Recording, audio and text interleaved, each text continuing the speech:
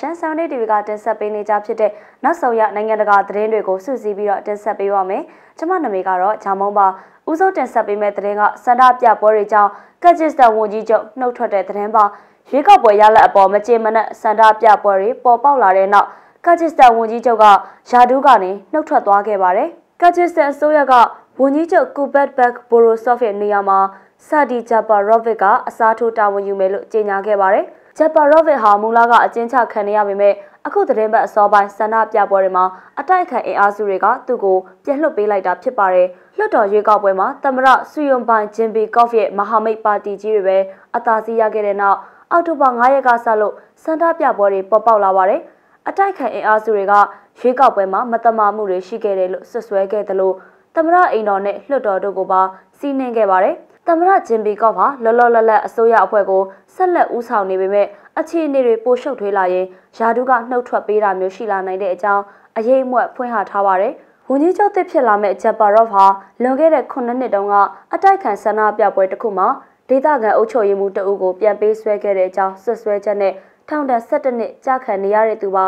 ဆန္ဒပြသူတွေကအာဂရီမှုဆွဆွဲချက်နဲ့ထောင်ဒဏ်17နှစ်ကြာခံနေရတဲ့သမရဟောင်းအယ်မက်စ်ဘက် အေတန်ဘာယက်ကိုလည်းပြန်လွှတ်ပေးလိုက်ပါတယ်။လွှတ်တော်ရွေးကောက်ပွဲအတွက်ပါတီ16ခုပါဝင်ရှင်ပြိုင်တဲ့နေရာမှာသမရနဲ့နှိစက်တဲ့ပါတီ၄ခုကအမတ်တွေပဲစံချိတ်ဆက်ညွှန်းမီထောက်ခံမဲ့ရရှိခဲ့တဲ့အကြောင်းရွေးကောက်ပွဲကော်မရှင်ကထုတ်ပြန်လိုက်တဲ့နောက်မှာပြည်တွင်းမှာဆန္ဒပြပွဲတွေကပေါ်ပေါက်လာခဲ့တာဖြစ်ပါတယ်ရှင်။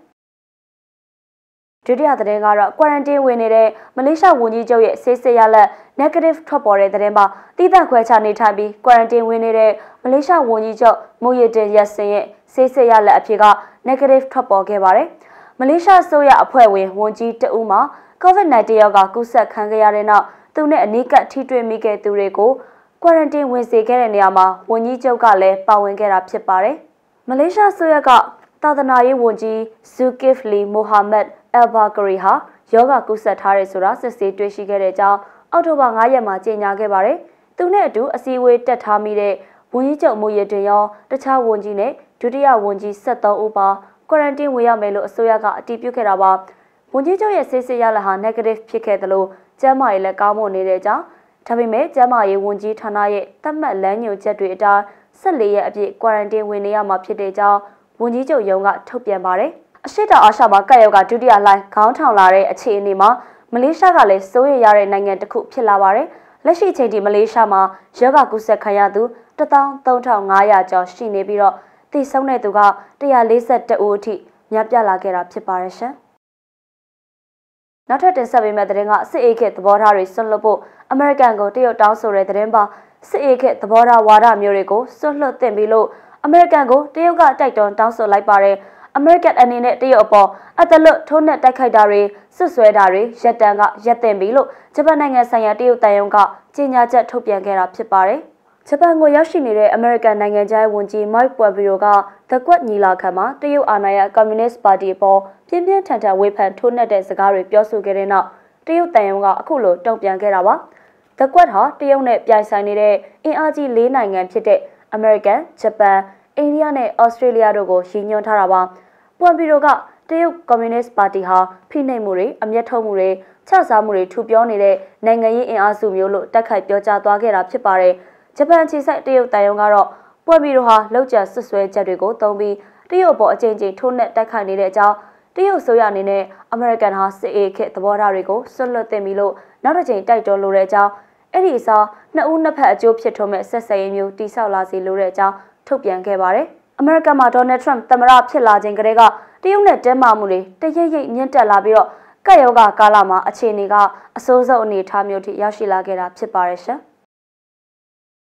ဆက်ပြီးတော့ကပ်ရောဂါကာလမှာခလေးမွေးရင်ထပ်ပံ့ကြေးပေးဖို့စင်ကာပူစီစဉ်တဲ့တဲ့ရင်ကိုတင်ဆက်ပေးပါမယ်။ကပ်ရောဂါကာလမှာခလေးယူမဲ့မိဘတွေကိုစင်ကာပူအစိုးရကထောက်ပံ့ကြေးပေးအပ်သွားမယ်လို့သိရပါတယ်။ခလေးယူခြင်းနဲ့ဇုံတွဲတွေရှိပေမဲ့ကပ်ရောဂါကြောင့်စီးပွားရေးအကျက်တဲတွေ အလောက်အကိုင်းမရေရာမှုတွေကြုံလာမှာကိုတွေးပူပြီးတော့နောက်ဆုတ်နေကြတာကိုနားလည်ပေးနိုင်တဲ့အကြောင်းဒုတိယဝန်ကြီးချုပ်ဟန်စီကေးကပြောကြားခဲ့ပါတယ်။ဝင်ငွေကိစ္စကိုတွေးပူနေရတဲ့အခါမှာမိဘလောင်းတွေကခလေးယူဖို့တွန်းဆုတ်နေတာဟာဓမ္မဒိဋ္ဌံကြတဲ့အကြောင်းဒုတိယဝန်ကြီးကဆိုပါတယ်။ဒါကြောင့်ဆိုရကခလေးယူကြမဲ့ဆုံးဖြတ်ချက်ကိုအားပေးတဲ့အနေနဲ့တပေါင်းတစည်းတဲ့ငွေကြေးထောက်ပံ့ထုတ်ပေးတာမျိုးလှုပ်ဆောင်သွားမယ်လို့သိရပါတယ်။ဓဒါပေမဲ့ထောက်ပံ့ကြေးပမာဏ ဘလောက်ပေးအပ်မလဲဆိုတာကိုတော့အတိအကျမထုတ်ပြန်ခဲ့ပါဘူး။ဟန်ကတော့အစိုးရရဲ့ထောက်ပံ့ကြေးဟာသားသမီးမွေးဖွားမဲ့မိဘတွေကိုငွေကုန်ကြေးကျသက်သာအောင်ထိထိရောက်ရောက်ကူညီပေးနိုင်မယ်လို့ပြောပါရယ်။စင်ကာပူဟာလည်းတခြားကမ္ဘာနိုင်ငံအများစုလိုပဲကပ်ရောဂါကြောင့်စီးပွားရေးဆုတ်ယုတ်ကျဆင်းမှုတွေကြုံနေရပါတယ်။ပြီးခဲ့တဲ့နှစ်နဲ့ရှိရင်အရှိတောင်အာရှဒေသတွေနိုင်ငံရဲ့ဒုတိယ3လပတ် GDP တန်ဖိုးဟာ12.6ရာခိုင်နှုန်းလောက်ထိအနှုတ်လက္ခဏာပြခဲ့ပါတယ်။ စင်ကာပူဟာကမ္ဘာပေါ်မှာခလေးမွေးဖွားမှုနှုန်းအနှိမ့်ဆုံးနိုင်ငံတစ်ခုလည်းဖြစ်ပြီးတော့အမျိုးသမီးတဦးကိုပြည့်မြကလေးမွေးဖွားနှုန်း1.14ဦးသာရှိတယ်လို့သိရပါတယ်ရှင်။နောက်ဆုံးတင်ဆက်ပေးမယ့်သတင်းကတော့နာဂါနိုခါရာဘက်ကစစ်ပွဲကိုတူရကီယူဆောင်လာတာလို့အာမေးနီးယားဝန်ကြီးချုပ်ဆွဆွဲတဲ့သတင်းမှာ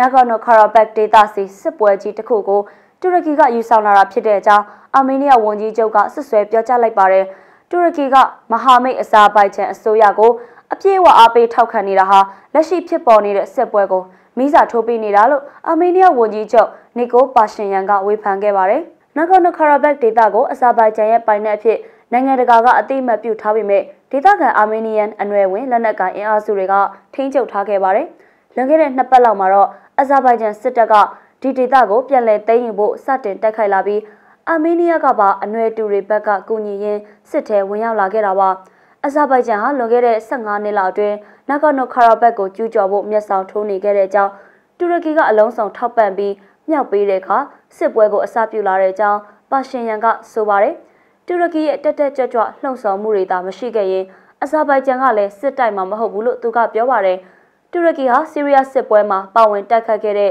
ဂျေဇာစစ်သည်တွေကိုလည်းအဇာဘိုင်ဂျန်ဘက်ကကူညီတိုက်ခိုက်ဖို့ငှားရမ်းပေးထားတဲ့အကြောင်းသတင်းတွေထွက်ပေါ်နေပါတယ်။ ကျင်းသစ်သမ္မတအီမန်နျူယ်မာခရွန်ကတူရကီအစိုးရဟာမကြော်သင့်တဲ့စီကိုကြော်ဖြတ်ခဲ့ပြီးဆီးရီးယားကစစ်သွေးကြွအကြမ်းဖက်ဝါဒီတွေကော့ကေရှက်ဒေတာစီကိုရောက်ရှိလာနိုင်တဲ့အကြောင်းဝေဖန်ပြောကြားထားတာဖြစ်ပါတယ်ရှင်။ဒီကနေ့တော့နောက်ဆုံးရနိုင်ငံတကာသတင်းတွေကိုကြည့်ရှုပေးခဲ့တဲ့အတွက်ကျေးဇူးတင်ပါတယ်ရှင်။